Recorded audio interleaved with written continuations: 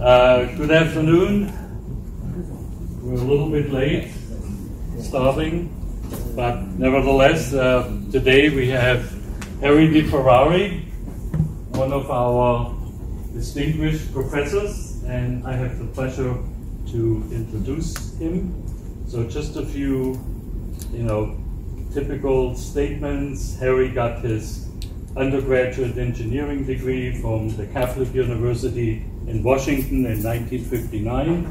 Probably, except for Arthur and myself and a few, most of you weren't born and don't, you know. so, and then he went on to get his master's degree at MIT in 1961, and from there he went back to Catholic University in, to get a doctorate in engineering in 1966. But there are a few things about Harry that I would say most of you don't know, uh, at least the ones that haven't been here as long as I have, and some others like John and so on. Um, actually, in 1963, Harry was involved in the search for the USS Thresher which was one of the submarines that uh, sank initially unexplained off the Massachusetts coast. And so he worked there for a private contractor and uh, helped to look for the submarine. He also is known as the person who adapted pseudo-random M sequence pulse compression techniques used and use this in underwater acoustic. That was something really novel, novel at the time of doing pulse compressions. And part of it, you could put more power into the pulse by compressing it, and it could also travel further. And then you could also sort of encrypt it with uh, ways that no one else could spy on you. And part of this was significant because, you know, as an acoustician, as many others uh, after World War II. Most of them worked in anti-submarine warfare, and the big thing was, you know, the Russian submarines. You all know about Hunt for Red October. You know, there's a SOSUS line, which is basically between Britain and Iceland. There was uh, basically a, um, a tripping line that if a uh, Russian or Soviet Union submarine would go through there, you know, they would know, and obviously that will alert other things at the time. Nevertheless, um, Harry came to um, Miami or the RSMAS in 1967, and he's going to talk about this and start there, uh, started there as a professor.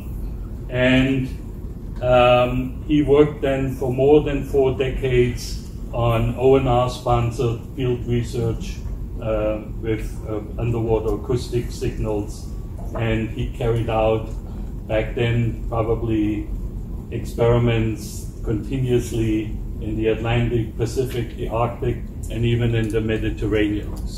Um, but also what Harry has, which is unique, there's no one else in this country, is Harry got in 1990 the U.S. Navy's Distinguished Naval Educator Award.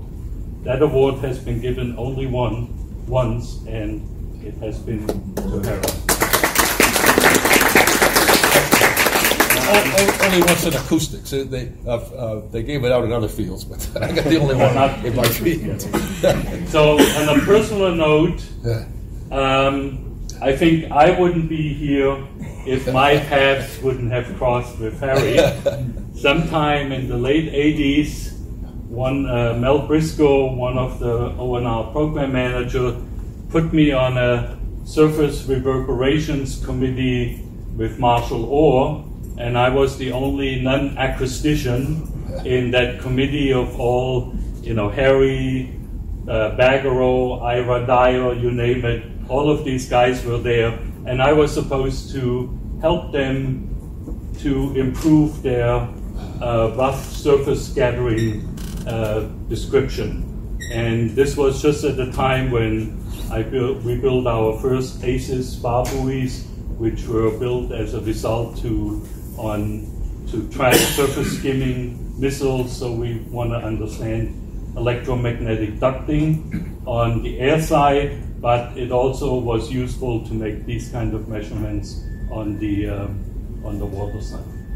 So Harry said to me, "Oh, why don't you come down to us? We're looking for someone like you." And then in November of 1990, I started here at RSMAS and been here ever since. So. Very good. Thank you. I'm going to talk today about, it's supposed to be about acoustics. I'm going to talk about research and also the academics, academic programs we had. And it's been a, a difficult, difficult trip, I can tell you.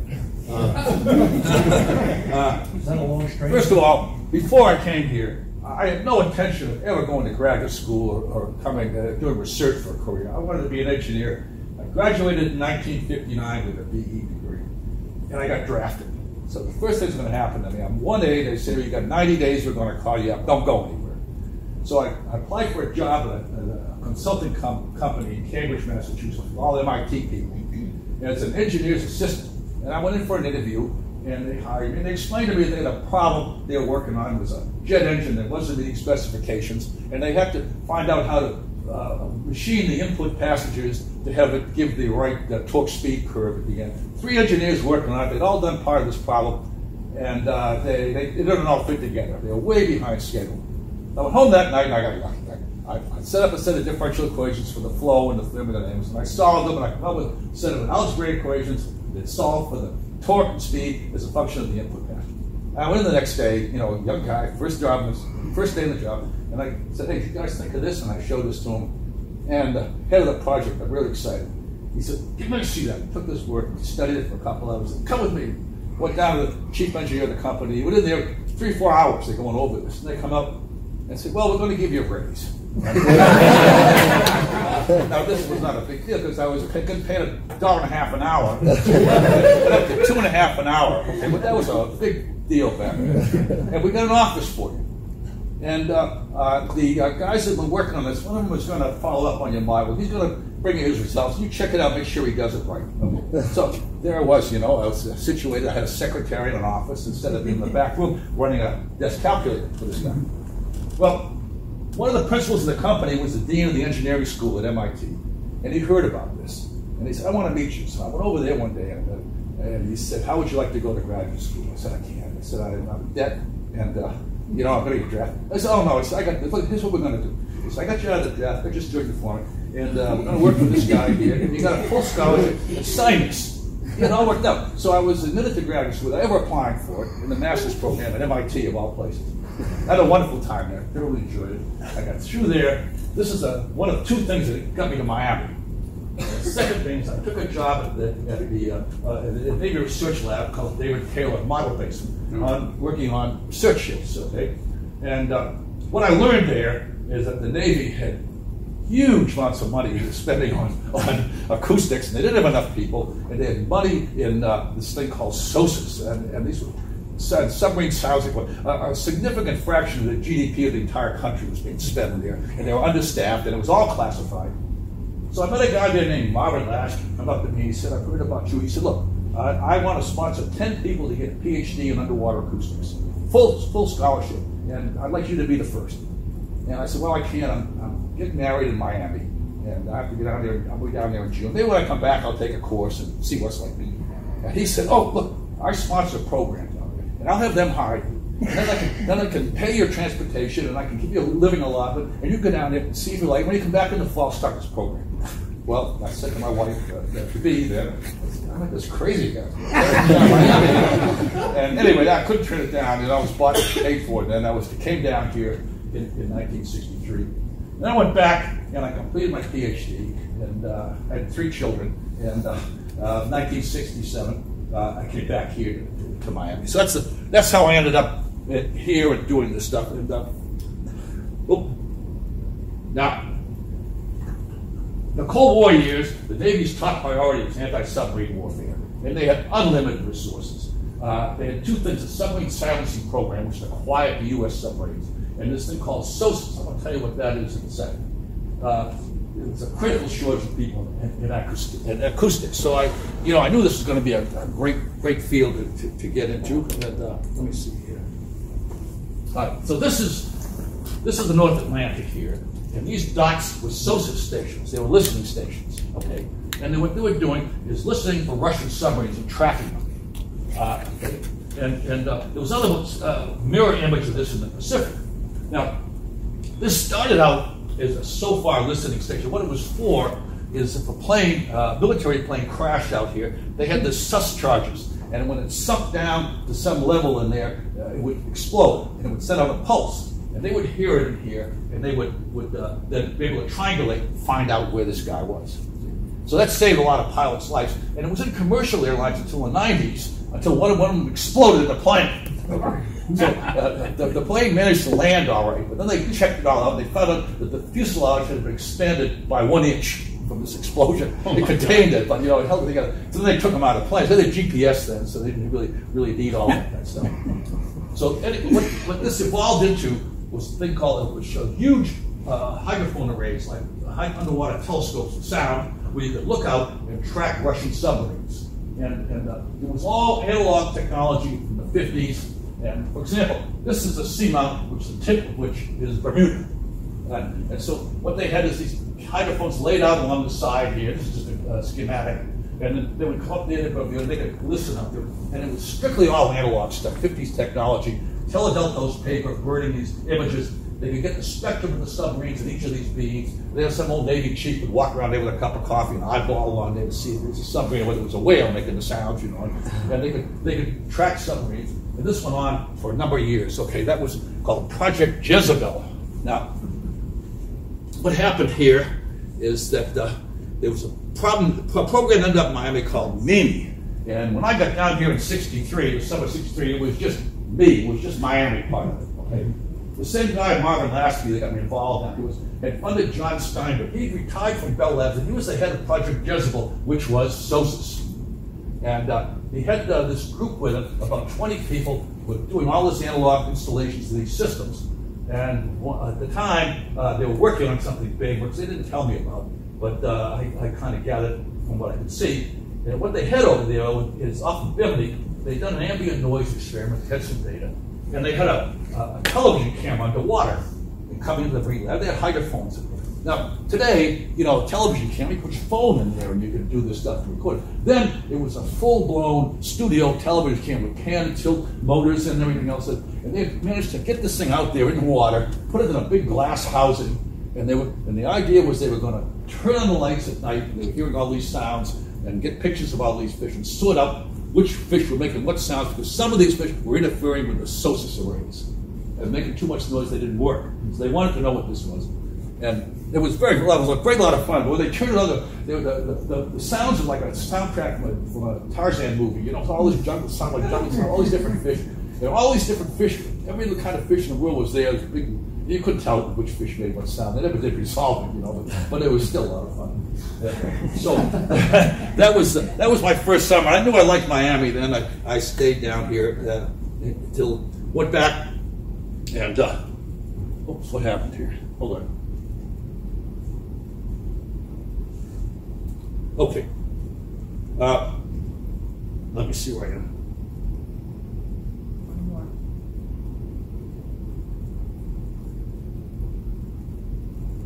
Okay. Uh, now, the, the, state of knowledge at the time for, for underwater acoustic for transmission was that, that uh, every ship, ship to ship measure was the only thing we had, and everything was moving. Hydrophones were swinging around, ships were going up and down. And so the phase between the transmission was totally random. And the theory was ray theory, and there was always uh, uncertainty in where these rays turned exactly. If you tried to model it with ray theory, you got a thing called ray chaos, which predict random phase. So everybody, uh, the theory and the, and the, and the, experiments matched, and everybody thought, uh, you know, phase was totally incoherent. You couldn't do anything with it. You were, you were just stuck with this. Okay.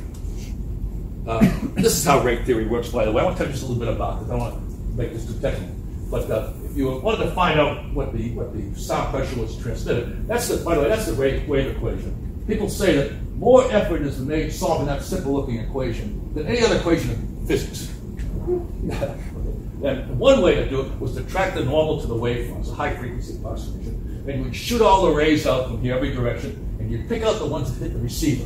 You track them, their refraction by the sound speed profile through the ocean. Okay? And, and you did that, it gave you wonderful intuition. You saw where the sound went and what the travel time was, and you could compute the, uh, uh, for different arrivals. You could add them all up to get the sort of receiver. It was very slow, but it was nice. Now, when they tried to push this a little bit and put fluctuations, internal wave, fine structure in there, it, the rays went chaotic. A little bit of a shove in one direction, would hit a different set of things and go shooting off in some weird way. And there was a field that you could study, ray chaos, for a while. And, and uh, uh, I had a, one time I reported some results. It's remarkable coherence I found in some arrivals. And some guy gets up and he says, uh, our latest calculations uh, uh, from ray theory uh, have proven conclusively that you cannot possibly be measuring this degree of coherence that you are. So we can only assume you're falsifying the data. well, the truth is that the theory was just in the equations and, and not in the ocean. It was part of the ray approximation. And for a long time, people didn't know that. They had this field of Ray chaos that you could go into and publish papers and make a living at. And it was just total nonsense. So that's the way, that's the way the understanding was at the time. So theory and experiments actually we were ignorant and uh, happy in our ignorance. So what Steinberg wanted to do, with wonderful intuition, is he wanted to come out here and, and uh, put a, a, source in off of Fowey Rocks Lighthouse. The Fowey Rocks was a lighthouse out here, still out here. Big, powerful source. And transmit across the Florida space over the river. And this was going to be like an imitation of a SOSUS site. So you're going to study, hold everything fixed. That was wonderful part of the tuition. To stick everything, hold everything fixed out here, and then everything happens. It has to be because of the fluctuations of the ocean. And now we can. So this is was just starting to get underway there at, at, uh, at around this time when I first got got there, and, and uh, between the time that I came in '73, they got this all running.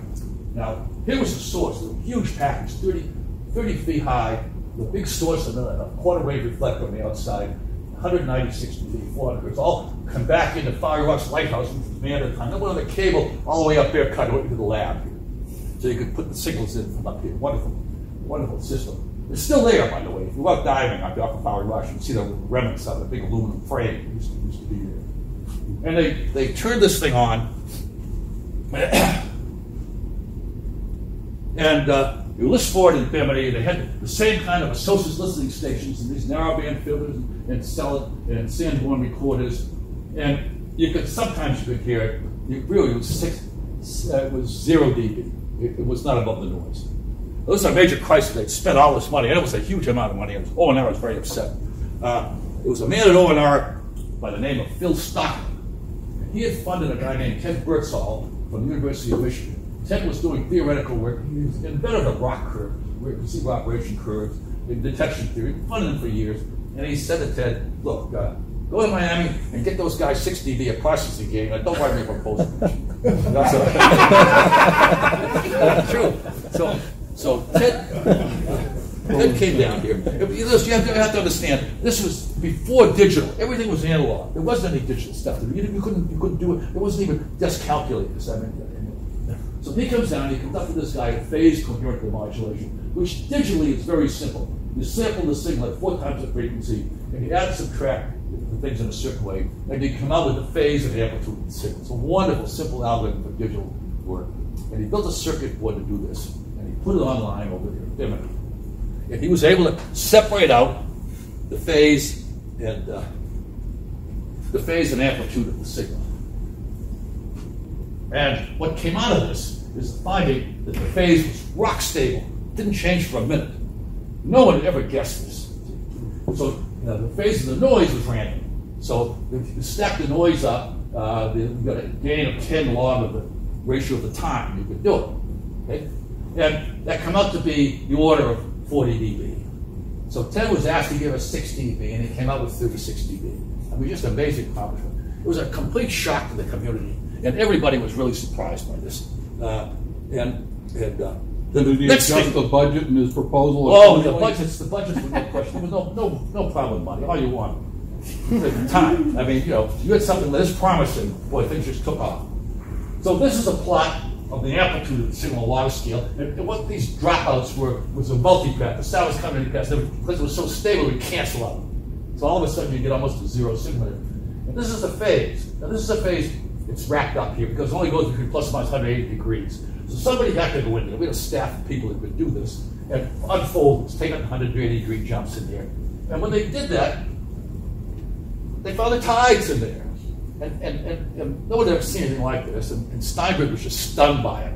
That uh, this, is, this set his thinking off for the rest of his life about all he could ever talk about was a thing called acoustical oceanography. and what this happened here is that, that you got this sine wave, a period of days, and a period of months, you could see these, these uh, fortnightly and, and lunar periodicities in the data, and then periods of, and, and, and the system would take data for a year. And we took data for a year. We get these great big fluctuations there. At the time, they thought the Gulf Stream had fluctuations in the order of 50% or so. We were seeing things that corresponded to it. So Steinberg focused on this, and I got to say, at this point in his life, he was a little bit senile. He was up in his 80s, see? And uh, uh, his theory was this that the, the, the, the, the trail is a geostrophic theory. The transport goes through like this, this is the core of the Gulf Stream that the geostrophic balance causes the thermoclines to be tilted. And the tilted thermoclines change travel time across the straits. So as, so as, as the field accelerated, you'd see these things tilt down, and, and you know you'd get this. And he couldn't talk about anything else. It's all he wanted to do. so this is I walked into this situation at the time, and uh, uh, this was very popular time, by the way. Admirals were coming down every couple of weeks for a briefing and money was coming in. Uh, we had the Jasons come down, which was a, uh, a, a group from uh, a, a, DARPA group that every year they would study. They said to study when they got one of the acoustics, mostly because of this result, and they're really interested in it. And Walter Munk and Stanford These are the top physicists of, of the day, and uh, and and then uh, what developed out of this a number of things. First of all, uh, Roger uh, Dash and Stan Flatté developed the theories for the, the fluctuations along a single path. So they wanted to see single paths isolated, not the multipath. And Walter Munk and Carl Wunsch, the result of this, came out with ocean acoustic tomography, which was what Steinberg was, had been talking about. So I walked into this kind of a buzzsaw into this program. First of all, this guy Kronengold was doing everything. Steinberg was a little senile. I wasn't even hardly able to keep track of what was going on. Kronengold was running everything. He didn't have university credentials. He had a bachelor's degree. And he was running this whole program. He had about 30 people, one way, 35 people reporting to him, doing this analog stuff on cables. We had our own boat, we were putting equipment in. And Steinberg would come to me and say, please, you got to do this. Uh, uh, Geostrophic would explain it all. Just write a paper on this, write a paper on this. And then I met Birdsall and I became very interested. He said, well, come down to Michigan. We've got these new things. It's a PDP-4 computer. And you can do this phase coherent demodulation. We'll show you how to do it. Come down there and spend the summer with us. So, uh, you know, I, I was uh, not well received uh, by Kronengold. He said, we've made this discovery, I, acoustic group, and don't expect to work on this transmission. We got some ambient noise data we'll give you. If you get some funding for that, uh, you can study them. So he didn't want, because he was, Kronengold was worried someone's going to come in and, and replace him as head of this thing. And he, he didn't fit into the university. So that really was a, really was a, the whole concern here. And he was really wanting and doing an excellent job. I mean, these people were really good at what they did. So that's the story. Uh, I, I, uh, I, I, started, I tried to do all three things. I wrote a paper in HQ on this. First thing I had, I made this geostrophic calculation, and it was the order of magnitude too small. Uh, this stuff wasn't right. But then I got some data from a guy named Saul Goiter, and he got the sound speed, he got the, some thermistor data, and I, I found out that was about the right ones. I wrote a paper, JGU, one of these, I forget what it was now, and I said, look, uh, you can see the fluctuations uh, in, the, in, the, right order of magnitude and put it into a ray model and do such a production, and we can invert this. First kind of a thing ever to be published about tomography. I got back a, a review that said the author does not seem to understand the important significance of his work. And he should, before he publishes, he should do the following. It lasted about two years of research to get this, get this done, you know. So I, I, I just threw it in the drawer and I never did follow through on it. And uh, I went by the first paper on, on tomography, which today I would probably be ashamed to have done. Uh, the next thing is I got two years of funding from the Navy. It was easy back then. I worked on ambient noise, like this guy suggested. So I kept myself funded for a couple of years. And then I went down there and spent a summer down there with with Kurt Metzger. Uh, nope. Performing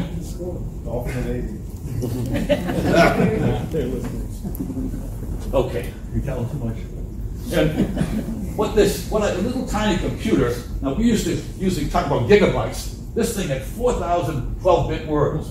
10 to the minus 5 gigabytes. Okay, it was nothing. I mean, you probably use that much signing on to a computer. And the, the Cooley Tukey uh, Fortran uh, algorithm had just come out, fast Fourier transform. And the phase corrected modulation, the nice thing to do in there was the sampling. So I wrote a program that sampled the data on the clock so I get the phase corrected modulation. It into this FFT program. there, but It took me three months to write. I had a Fortran version. I had to translate it back into the machine language, this little tiny structure. I mean, it was a, you know, I was not an experienced programmer. That's all I did. And it ended up, I got a real-time display up like this. and explained a lot about this. What this was, that was the carrier frequency. That was the frequency transmitted. And this was the surface wave frequency out here, sidebands, plus and minus around the carrier. And then the second order sidebands out here. Seas were heavy, the second order sidebands came up. I published this stuff right away. And I got a huge response out of this. I mean, I can't tell you how much, uh, uh, I can't tell you, I'm going to tell you. Uh, first of all, these three guys show up from the Underwater Sound Lab.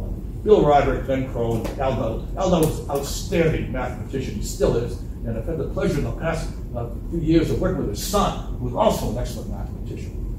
And what they had come up with was a model, was a Bragg reflection, that the, that the, the wavefront would hit this, the surface waves, ocean waves, and reflect off in a specular direction, and then the Bragg angles, which depend on the ratio of the wavelengths and so on. And the Bragg ones the specular ones unshifted in frequency. That was the carrier line. And these ones here were shifted by the frequency of the surface. They were spectra of the wave surface. So that really explained it away. It was a way to talk about it.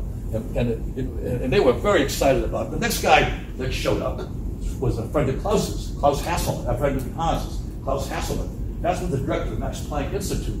He came in to visit Walter Düing. And the last day he was here, well, oh, you ought to talk with this guy. He's doing some work on something. I don't know what it is. And Klaus comes down. I show him this. He had a theory of wave-wave interactions.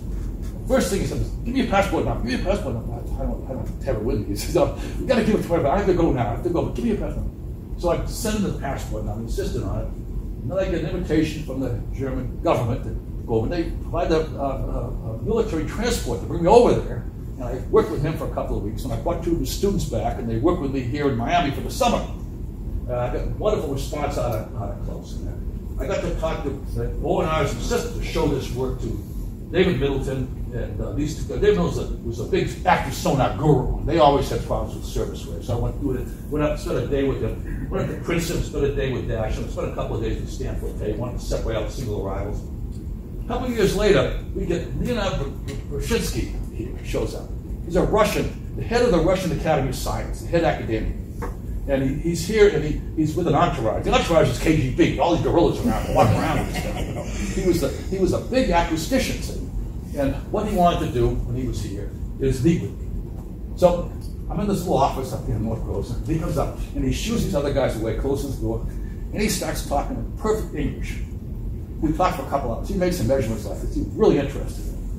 And anyway, later on, I got to meet with a, a guy named Peterson, who was a, a acoustician in this country, Ray theorist. And I said, you know, I met Brekhovskikh. I said, nice to talk to him. He said, yeah, I met him too. He said, but he didn't speak English. I said, sure he does. No, no. Said, I talked to him for hours with a interpreter. so they had some KGB guy to keep track of it, you know. so anyway, I got enough prestige out of this work for what uh, get me through what happened next. Okay. But first of all, I want to say a little bit. I want to, uh, before I get into that, I want to still about the academic program. Uh, at this time, the space program just put a man on the moon. It, and it was I wasn't going any further. And the talk around, I said it's going to be inner space It's going to be the next big program. Ocean engineering. We're going to investigate. We're going to investigate under the ocean. In fact, eight or ten companies built submersibles on this rumor, hoping to get in on this. That was a big plan. University of Miami didn't want to get out. Of, It didn't want to out with sleep. They proposed a, a master's program in ocean engineering. And these are the people that they picked up that were already here. The ones in red uh, are all guys that were working with Steinberg. We had, a, we, had a, we had four options for master's program. Underwater acoustics, ocean measurements, uh, coastal processes. John Michel was the lead guy in that. He put the program, a small proposal, and staff, he got money to perform, to, to, do this sort of thing. And I was a charter member of this group, you know that group down here, Marine Corrosion. And we set out an advertisement, a flyer, and I was just, we got 100 applicants within a, within a week. People were dying to get in on this thing. This was the word everything was going up. And we accepted 25. So now this thing was just roaring along, and we're, we're turning these students out. And then there's this big major upheaval. Uh, Steinberg retired. University of Miami hires Scott Godman as chairman of the Ocean Review Department, the division, which was, was a split up thing. And Scott Godman comes down here, and they try and insert him in on top of Kronengold to run this acoustics program. And uh, takes the whole acoustics program out, takes it out, forms a company, and moves it over to the Miami shipyard. Miami Vice. Yeah, so, so I didn't know anything about this. I just brought everybody with me. I, I come in, I left the office Friday, I come in Monday, up there was the second floor of Groves, second floor of those Groves, and everything's gone. All the cables are cut, nothing in the laboratory. Yeah, I'm sitting in the office by myself, and one of these guys walks by, he looks at, says, oh, we forgot this, and he takes a stapler off my desk. so, you know, uh, they, uh, they never expected that I would be able ever, at the time, to do this stuff. You needed this kind of a staff of people. But what has happened, what's happened here is, is this was the, this was the, you know, the, start of the digital revolution. Stuff was coming along, and I knew I could do any of this stuff with a computer and, and, and, and let go of maybe 10 of those people over there just to get that data off. They'd always be able to trace through it and do all this stuff. It took hours and hours to do. Anyway, two years later, Scott Dobbin decides he's going to form own, his own company, and Lee leaves too. So, Vietnam War absorbed all the funding that was promised ocean engineering. Okay? That was, that was uh, just started the development. And this big program we had with all these people now came down to this. Okay, and I was the only one in this group. Cole Vandercreek, John Wayne, Lee Craig, uh, who didn't last long, he didn't get tenure. He was gone. Basically, it was three of us here. And I was the only one in tenure, so I'm automatically I'm acting chairman here by default. so, plus the fact that now I got about 25 students in ocean acoustics. Now I'm teaching two courses of propagation and one in signal processing. I get 15% of my salary paid by the engineering school for doing this. And I was I turned out three or four master's students. I turned out four PhDs in this thing called interdepartmental PhD program. So first thing I did as chairman here, I was, is I, I hired two new faculty in, in ocean acoustics. Uh, I was trying to hire a guy. I was at a meeting at the acoustical side, I was telling this guy about what a great place Miami was all this stuff. You know, trying to hire this guy, give him all the sales stuff, and he just turned me down. Fred Tappert was sitting there, and he came up to me afterwards and said, "I'd like to come to Miami." I was just shocked. Fred had come up with this split-step Fourier algorithm which replaced ray theory. It was a miraculous solution, a complete solution to the wave equation. Every, he was a star. He was, he everybody thought he was you know, great theorist, great theorist. And here he was, wanted to come down to Miami. So I hired him. At the time, I was chairman of an underwater acoustics committee uh, as part of the uh, Society of America. And I had to uh, come up with some metal, metal winners. They got a gold medal for a senior guy, a silver medal, and they had a bronze medal for, an, for a graduate student. And I looked through this list of candidates, and this guy, Mike Brown, really stood out. See, I mean, he was he was one of Walter Munk's students. He had done great. So I called up Walter and I said, "What's this guy going to do? Should I hire him?" And oh yeah, Walter was enthusiastic. And uh, Mike would never come here. For Tappert hadn't been. People heard Tappert was here, they all wanted to come here. This is going to be a great experience for them. So I got Mike Brown there. Not have to teach those courses anymore. That was the that was the reason I wanted to do it. I got four. We had a wonderful program called the Interdepartmental PhD program. You, you, you appoint a committee, one guy in the math department if you wanted, and somebody in electrical engineering, and a guy in the physics department, and they would put together an agenda of courses for this guy, and they would do a thesis. And I could put four students through that. So I, I had a background now in putting PhD students out. So I wrote a proposal uh, for a PhD program at the College of Engineering. Put go on with this mess, and they just turned it down. They, they, they didn't want to have their name used in anything other than their own uh. So uh, I wrote a proposal, a couple of proposals on. I get some field capability, and I had to erase the, the, computers. I had a way to do it without all these big installations, and uh, I, I was successful on that. And then I looked over and I checked their salaries, everybody in the department, And uh, I checked it against guys at Woods Hole and at University of Rhode Island, and, and I thought, God, we, we're way behind everybody. I went to Bill Hay with the, he said, no, I can't possibly hire anybody here at this salary, but you got to do something about this. And I, I kind of probably scared him, and uh, he backed down and he gave us all a 25% raise. You know, it was wonderful. you know? So it made us competitive. And uh, I went to to the government laboratories, and I went around and I told them, look, you get a student here who's got a master's degree good student, really work. You send him to Miami for nine, for not for nine months, for a full year. I can get him through all the coursework he's. He go back to your lab and work with somebody there and do a thesis. So I started to get PhD students coming through this departmental PhD program. I'm just trying to build something up, you know. that, that's the way things went. And then uh, Dean Hay was the dean at the time. He decided he wanted to build up the oceanic program. He appointed an outside committee. Now, if you're a faculty member here, you know that you don't have a career here unless you've got a source of funding somewhere. So you can think up all these wonderful things for some guy's supposed to do, but unless he's got a pile of money that he can go to and get funded, he's not going to have a successful life. It's going to be miserable. So this committee comes in, and, and when the outside committee says something, that's Britain is stone. You can't you can't argue with it. So they I don't even know who these guys were, but they come in here and they said, coastal processes the of ocean engineering. So hire a chair in coastal. Don't go acoustics program anymore. You got too many people but that was the greatest opportunity. Well, uh, naval architecture is a basic copy of ocean engineering. Hire somebody in naval architecture. And uh, there's a big sediment transport program underway at AOML. Hire a sediment transport person to work on. So, you know, we have to go along with this. We've got a wonderful guy as a chairman, Bernard Le Méhauté. Uh, he just graduated from Tetra Tech, was a renowned guy, and he did an absolutely great job. And he went out, he hired Shen Wang, was a naval architect, and Toke Yamamoto, sediment transport. Well, here's the way things came to pass from this. Uh, a week before Shen Wang got here, Stevens Institute announced that was, and that, by the way, that's a leading school for naval architects in New Jersey. They announced that they're, they're discontinuing their program for lack of interest. The fellowship was being done in the Orient. So we got this guy hired there. Now, now he's got no possibility of, of getting funded. Yamamoto, by the time Yamamoto gets here, he's delayed a few months. He gets here, going out, the, the program in sediment transport at AML has been canceled, stopped. so, so he's here, and he was really anxious to have a career, and he, he just worked, worked and worked, and finally suggested to him, you know, go talk to uh, the people in. They're interested in shallow water acoustics and, and, and get geoacoustics, interaction of acoustics. Boy, they loved it. They funded the program. So the acoustic program grew despite, you know, the recommendations. And, and uh, uh, Bernardo Le Méhauté was able to keep these other two guys and John Wang funded, but there wasn't much opportunity in coastal process. There's no place you could go and get funded. A little bit of money in NSF. They gave Bernard a 60K contract. He tried to get a contract with John Wang, and they said, no, no, we're funding one of We can't fund any more than that. So there was no possibility of this, this plan ever working out. Things just sort of grew uh, like a weed, and uh, you, you, you go where there was water to keep it going.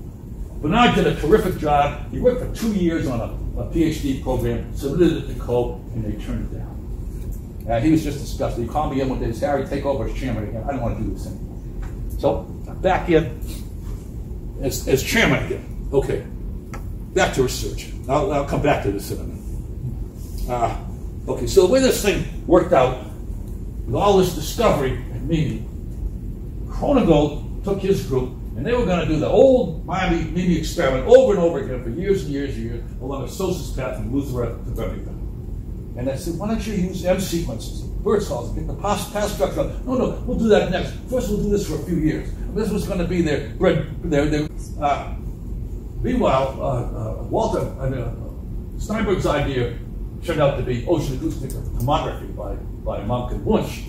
And they, uh, no one could have had the prestige or the status of Walter Munk that could have pushed that thing forward like he did. Yeah. Because that was a huge, complicated thing to do to make kind of a simple measurement by our methods. And, and, and, Walter, it went on for years and years and years. And these guys from Jason's started looking at fluctuations in a time varying ocean. They didn't want to see multipath, they wanted to see uh, single pass. Well, the way to do that was to use this M sequence process in the Birdsall that. I didn't come up with this, I used it my whole career. I got this from Ted and what you could do. And, and really, this blanket here should have been Ted Birdsall. But Birdsall was in Michigan. He didn't have a field capability. He couldn't go out. And they, besides, they told him, get your processing in with Walter Munk and, and those guys. Help him with the tomography program. So that's what he did. And I, I ended up filling in filling in this with the meager resources that I had at the time. So, uh, okay, what this M sequence does a little bit about these. These things have a perfect correlation property. You send out this big long sequence and it would correlate, it correlate perfectly down to one pulse with no leakage at all. Miraculous, very, very clever thing. So you could, you could resolve a low level pulse in the presence of a high level pulse. You Get a low level arrival next to a strong one, the leakage from the low to the high level one wouldn't cover. And uh, you could see single pass very, very long ranges. Many applications of passive and active sonar. And at uh, uh, some point, probabilists, see, all of the 6-1 basic community now on this idea of fix a source or fix the receiver and look at what the effects of the ocean is. And the Navy doing everything from, from, from with, with, moving platforms. So they can't use any of this result. You know? And so my idea was to go ahead and show them, demonstrate to them that you could do this from a moving platform. I had reasons to believe you could. I didn't know for sure. So that's what I did. I put these M sequences on this. Uh, okay. Uh, I, I got a source in the computer, and a guy named Bob Tustin was had worked with Scott Dobbin, and uh, he was electrical engineer. Scott uh, Dobbin kind of abandoned him, so I hired him on here to try and get an uh, M sequence that we a source that we could tow. I wanted to demonstrate that you could do this from a moving source for active sonar for several other reasons. And other, other, also, people made such a big fuss out of some out of this stuff when it was fixed, and now to see that you could actually use it. I mean, this was going to be a real uh, breakthrough of an idea. Now, we've designed a lot of sources since then, and, uh, one of them was this thing here. That's Neil Williams right there. You get some idea of the size of this. Thing. This is a multiple frequency source, 400, 200. I'll, I'll say more about it in a second. But a big can 5,000 pounds out of air. And then we, we've got one right here, which was a little expendable one. It was three and a half inches diameter, it's about that long. It would go out through the signal tube of a submarine. And they put out these M sequences. And the idea behind this one is you drop, drop it out of the submarine. You're off the coast of North Korea. You don't want nobody there. And they can't hear you because you're quiet. And this thing starts generating this low level M sequence. Now, if you know what the M sequence is, you can get 40 decibels a gain. So you can see the signal way off. And so you drop this thing out at the bottom, and then you, you go on off and you listen to the signal, and you get a research quality transmission loss curve as a function of range. So you know everything about their uh, propagation over that site. And then this thing destroys itself, and you go home. No one knows you're there. I got I got some money to try this a couple times. Okay, so that's. But in between time, well, the first one I don't have a picture of this thing. We had one source here, center frequency of 400 hertz, and I wanted to. I, I got I got a computer from Oregon. This one was a Micron. It wasn't that. It was a Micron. I brought it over to the island of Bermuda, and we got a ship there called the Erline, and we had this source. It was kind of big, not as big as one, but it was pretty big. One frequency. We couldn't get the the, the source had a uh, crane high enough to lift it onto the deck. So I said, what we'll do is we'll, we'll put some tires in the back of the ship, the Erline, and we'll snug it up against the tires and put load binders on it, and then we'll lower it in the water, and then we'll lift it back up and bind it in again. And so we went off off Bermuda, and, and, and that's, that's how we, we got to do this. Uh, see, here's there's the island of Bermuda. We've got a SOSUS hydrophone to listen to, and here's the ship out there. Now, the only problem we had is uh, before we could put this thing over the side, somebody had to lay down on the deck and squeeze himself inside the apparatus between these pilings and stuff and plug it in. And so Bob Tustin got down, he squirmed inside there, and just this boat was terrible and stable. And a wave hits the boat, and it moves over about six inches, and you can't get out. he gets stuck in there for hours. and, and we can't, you know, yeah, move it, it'll kill him. And, you heard that string of profanity, a combination of profanity. I mean, he was really upset. and we're just sitting there with our thumb in our mouth, waiting to see what's going to happen. And the wave hits it from the other way, who's back? And he skirts, he skirts out. so, uh, what were we able to do? See, if you're towing the source, some of these rays hit the surface, and some are refracted. And uh, we got this, uh, this is the island of Bermuda, and there's this arrays over here. We're doing the receiving. Got a computer there. And I was able to compute this thing called a scattering function. And what it showed you is the arrival coming in with this M sequence, okay, as a function of Doppler, which included the speed of the boat, so you could see and know what the speed was. And then later arrivals coming in, some of these hit at the surface, they had surface sidebands on them. No one ever seen anything like this before. I was really proud of it. It's the best piece of work I ever did. Did everything we did. I go to the Coastal Society, and I get all set to give it. I got the abstract in there, and I get approached by the guy that's sponsoring Colin I can't let give you this paper. Why not? Because it's classified. It's not classified. It's yes, using a SOSUS hydrophone. So I don't tell them where it is. I don't tell anyone about the site. No, no, uh, Russians might find out and going to tear it out. Well, the truth was, I think, that they didn't want to see me do this. You know, they didn't want this out at the time. So anyway, I, I ended up, uh, I never did get to, to get that piece of work out. It's, uh, okay, so that's that. Now, since then, I put together a team that could do these kinds of experiments. There was Ed Ewan, he got a master's degree with me in, in, in ocean engineering uh, early on. And he went to the University of Michigan. He worked with Birdsall. He worked with the, with the excellent designer, uh, digital design, design circuitry, outstanding guy. John knows knows about him. You know, really good. And uh, Neil Williams was a student also, got a PhD here. And Neil could uh, do mooring work, mechanical design, design pressure housings.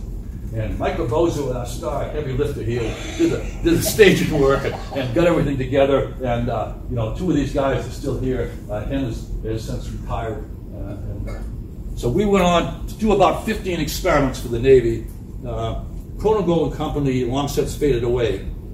This was the Miami sound machine. What was nice about this is that, uh, uh, well, it got nicknamed the Miami sound machine because of this Estefan thing that was around, and uh, that's our, was our call. People started calling it that. Uh, it, it transmitted 100, 200 foot, 800, 600, 300 hertz, and uh, uh, had a 40 millisecond uh, pulse width and 184 dB. And so we did. We used this maybe a dozen experiments all around the world. Moored out there, transmitted for a month on a low duty cycle, and it just got.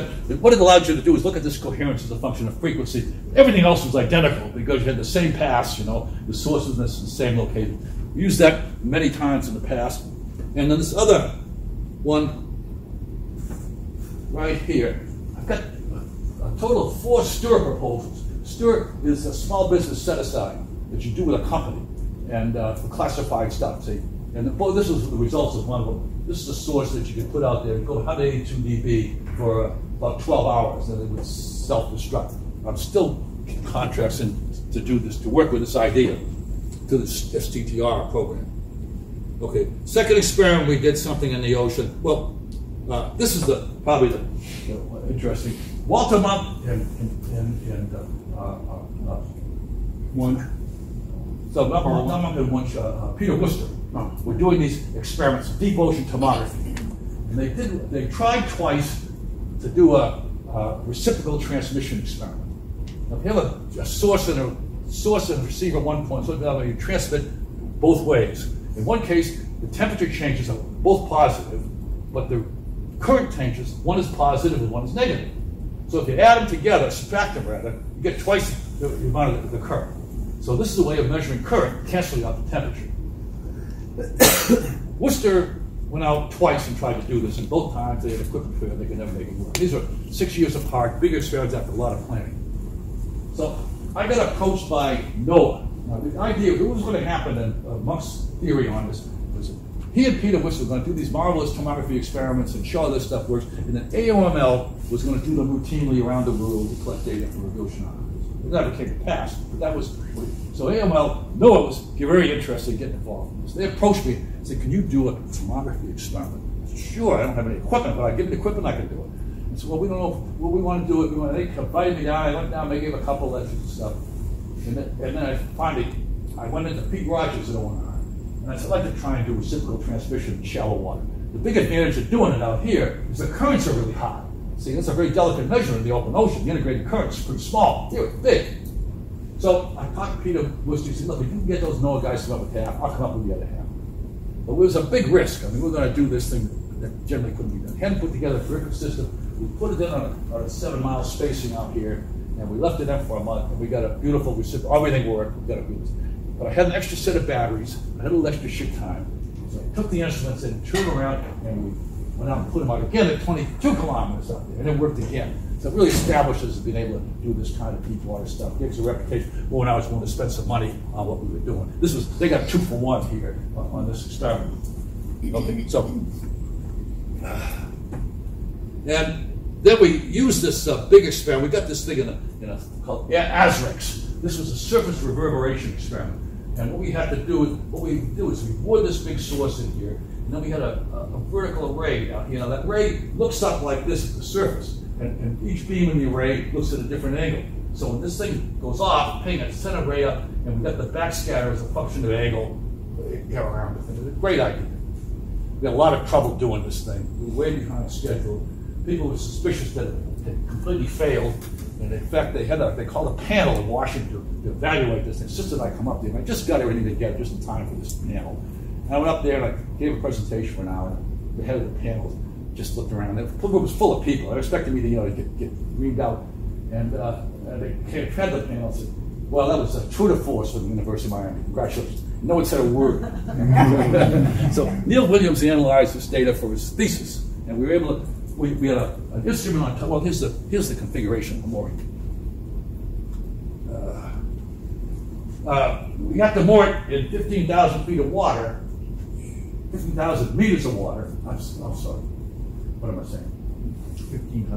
1,500 meters. Yeah, 1,500. We got the, we got the mooring 30 meters below the surface, which means you have to know what the exact depth was out there. So what I found out is the bathymetry in the deep ocean has all been measured by the U.S. Navy, and it's all highly classified.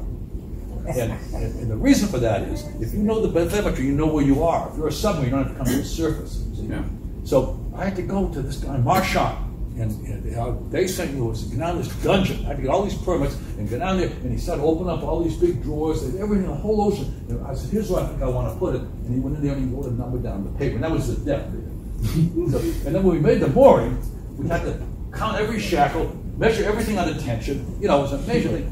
And uh, David Farmer had a surface wave bubble maker machine that we, put up on top. So that had to be at a certain depth. And we did it. We got it out there. We got this whole thing to work. And that was uh, ended up being uh, Neil Williams' uh, dissertation. So these are a bunch of other stuff here. We've, we've been just about everywhere. We did experiments under the ice, and we did experiments in the Mediterranean. We've done three or four experiments in Florida, one in the Gulf of Alaska, all around, one- off of, a couple off of Bermuda, five or six of them looking at shallow water coastings. I don't want to go, through all these, but you, you, you get the idea. But, uh, uh, meanwhile, Kronengold Company had uh, gone out of business. Uh, they had uh, they had one catastrophe is they they decided they were going to put a thermistor string in to get long-term data about the sound speed profiles. And they decided to put a nuclear reactor power supply. yeah. So this way they could they could keep it running forever and they get five years of data. Well, it broke free. So now they got a nuclear reactor floating around in the Bahamas, you know. The Navy's terrified it's going to float up to some beach somewhere. And so the whole Navy fleet is out there looking for this thing. You know, that did, that did not help them much. But there were other reasons why. They were still back in the analog age, and everything now was digital, so everybody could do what they could do in a mooring, you know. Uh, rise and fall of applied marine physics. Uh, uh, I was chairman again after Le Méhauté. And the only way to get a PhD program is to leave the engineering school. They did not want us to use engineering in this thing. So I said, but if we come over here, we form a new division called Applied Marine Physics. Everybody had to discuss this and agree on together. And, and uh, uh, that we could we could share an RSMAS degree granting program. And that's what we did. It was a terrific move. Another great uh, was Alan Berman came about this time. And, and uh, uh, Alan really understood my concept of what we could do, and he was he had been the director of the Naval Research Laboratory for years and years. So he knew all the money supplies. He knew everything was possible. You know, he wasn't going to have to hire somebody in some field that didn't have any resources. He really understood. So things for the next ten years, things really grew well. The first first thing that happened, I got a phone call. We got this guy Graber. He's unhappy with Woods Hole. We want to expand his program. We're going to be happy. I said, yeah, hire him. So there we go. there was Hans. See? And uh, Hans, through Hans, we were able to get people like Mark Donelan, and Will Drennan. And so we really started to develop some muscle in, in this field. These people came in here and uh, uh, the thing started to expand. Everything was very well funded. The acoustics program now with Yamamoto in there and four or five of us that were in that. One year we got 25% of their basic research funding out of the place. And we really, really, things were really going good. And then there was a decline after that for a number of reasons. This was a good time for us here. And, and uh, everything uh, was, was going along fine. And after about the next few years, a number of bad things happened. First of all, we had a number of untimely deaths in there. Fred Tappert passed away, and then uh, Bernard Le Méhauté passed away. Richard Scott, and, and this guy, Tony, was a young fella, went there that long. He, was exercising, and he gets a heart attack and dies. So, and then uh, we had some retirements, and then uh, uh, the other funding problems and stuff. Uh, the real problem, though, was after Berman left, there was no enthusiasm to rebuild this. He, he was the only guy that understood it, and the U.S. wanted to go to conventional fields. Now, the reason AMP was was like it was good for acoustics. Was multidisciplinary. Acoustics is basic classic physics, electrical engineering, and some mechanical for transducers design, oceanography. So it didn't really fit in any of those. But here it fit in. And there were other things. Hans's program was like that. And the stuff that these other people were doing here. Uh, uh, uh, uh Mark Donelan it fit in fine. And we really prospered in this thing. Everything grew. We got a lot of students. We were turning out, I think we turned out some 60 students in underwater acoustics graduate degrees through, through the year. So that was, that's when things started to decline. And the decline of acoustic, acoustics research in general came across the whole thing. First thing, there were three things out here. The Marine Mammal Protection Act, demise of SOSUS, actually just became, uh, out of, style, and the institutionalization of ONR. I'm going to give you a quick answer. This is the submarine, U.S. Navy submarine program was quieting program. There's a Soviet submarines were up here, and ours were down here. That was about 30 or 40 dB difference. We were quieter. We had this terrific program. All of a sudden, they come up with this Akula class submarine. It was quieted in the UK. Not because of the Walker spy case. This guy Walker was a was a was a current was a was a warrant officer in the Navy. And he had access to all these files, and he started selling them information from our quieting program. And it's not like he made a lot of money. He got enough money to buy a little cottage on a lake and a sailboat. It was nothing. And he gave all this stuff away. They come up with this Akula class something that's quieter than anything that it's so quiet down there at 120 dB that it can go directly over a SOSUS array and not be heard. It was the end of SOSUS. Not, SOSUS couldn't do anything about that. This guy Walker, the the uh, the, the, the Russians call this the Akula class. That's the Russian word for shark. And the Americans call it the Walker class. so, so this guy ended up in prison, and he died a few years ago uh, in prison. So that sub, SOSUS at this point is now being used to study whales. Whales made sounds the same frequency band as, as submarines, they were a big uh, detriment to this. They, they, were always trying to get rid of the whale sounds. Uh, so now they were, they're using it to track whales. That's all it is for. It's a huge facility sitting out there uh, being put to some, some use. Uh, second thing that came along was the Marine Mammal Protection Act. And this says that uh, basically was it's illegal to take a marine mammal. And the idea about a take, one of the way we think about, it, you know, is Moby Dick. You bring a whale up on the deck and you cut down and melt it down for oil. But this agency that's in charge of this thing uh, decides to, to uh, define take as, as the act of hunting and killing, which you are normally associated with it, capture and or harass by any, uh, any mammal. And they define harassment by any act causing disruption of the behavior pattern. So, well, what happens next is this guy, Peter Tyack from Woods Hole, does an experiment along the coast of, of, of California. He's observing whales, and he puts a sound source out there, and he finds out that if the 120 dB CW tone, they detour the migration. And that's, they change the behavior.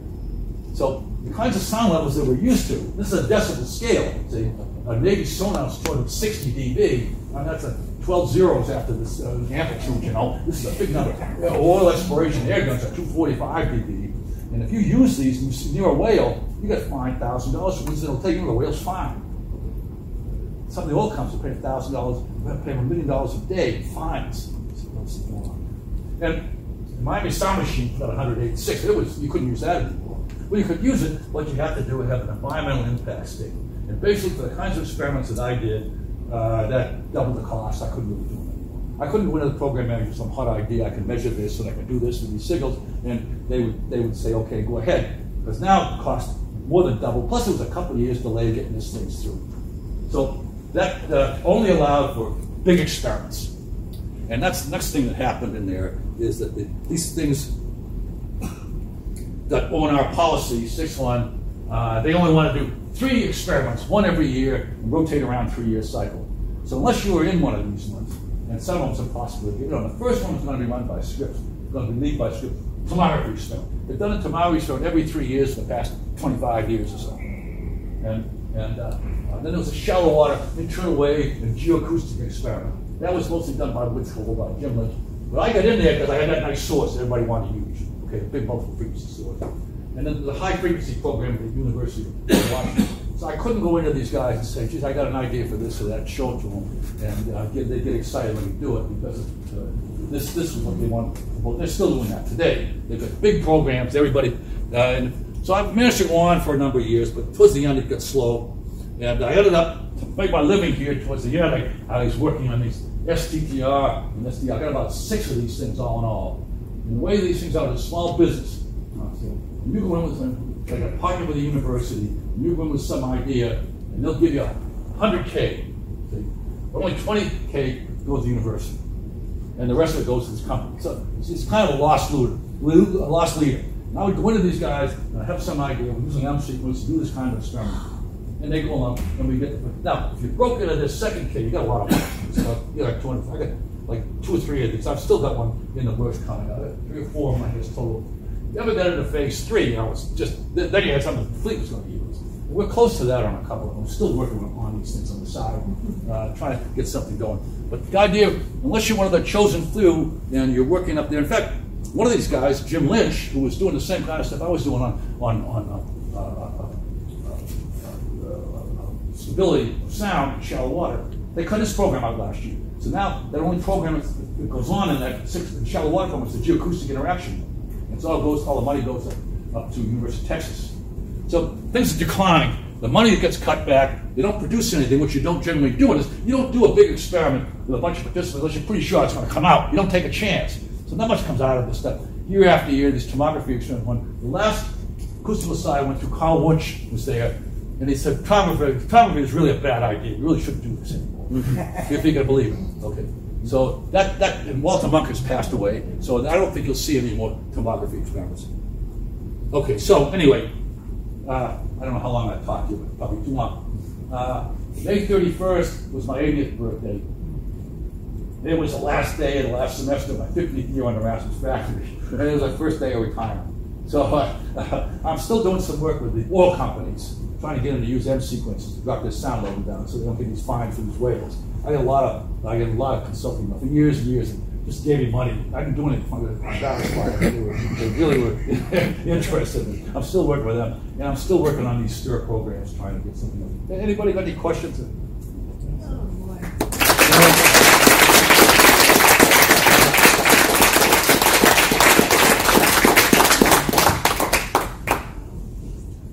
So is this how you funded all the reef trips for your spearfishing? Oh, no, no, that was on the side. I did that. as a- second career for me was free diving.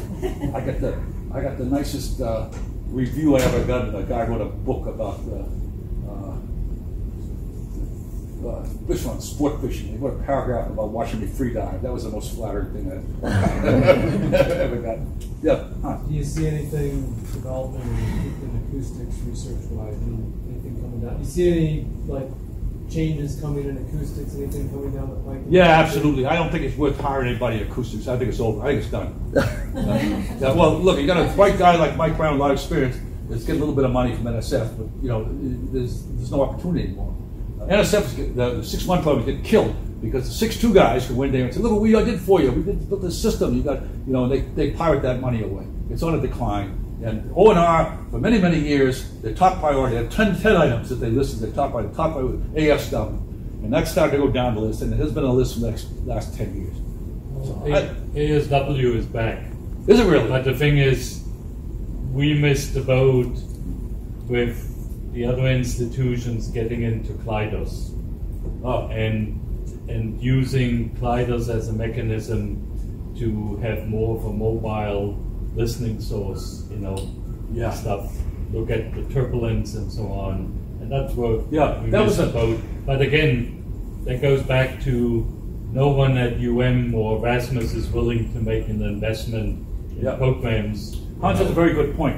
A lot of times you hear about a guy doing a program and something to do with turbulence and, and acoustics, and all of a sudden that guy would disappear and he'd never publish anything again. You'd see him around, and what happened is the program went from 6-1, it transitioned to something called 6-2, which is applied and classified. And some of these guys in the 6-2 program, one of them was the one to measure turbulence in the ocean. See, and you drag this device along and it senses turbulence, and that's where a submarine has been. So those guys had a huge amount of money. It's by Mike Gregg of the University of Washington. that was one. Uh, Hans, you another guy here was uh, Rod Zika.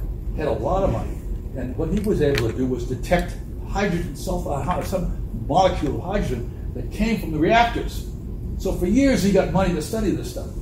So you know, unless your program has got some kind of a, uh, and then there's of course there's the other thing is this the is the overriding Mansfield amendment, which says all basic research should be funded by NSF. And so uh, ONR was terrified to label something as basic research because all of a sudden it would disappear out of their budget. So a lot of stuff they do with this for, and one of them they have an understanding they will study acoustics in the sixth form. But that's declining. It's really on its way down. Uh, I'm sure if you come up with the right idea, and uh, I've been trying a lot of I've got some ideas. I've written papers on active sonar using M sequences. Show that it's absolutely 100% better than what they're using, but I can't get any support for it. Uh, there's no, I mean, you're absolutely right, there's no, absolutely no investment here at all. Yeah.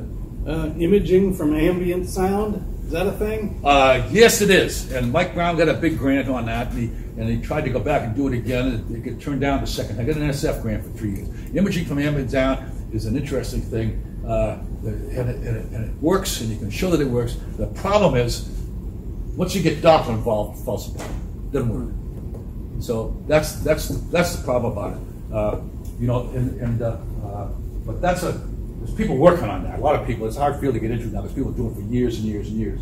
Basically, you're doing tomography with sources of opportunity, and, and uh, great idea. There's some, still some interesting stuff around. I'm saying it's a dead field. I think the big push of tomography is over. I don't think we'll see another tomography experiment. That thing is dead.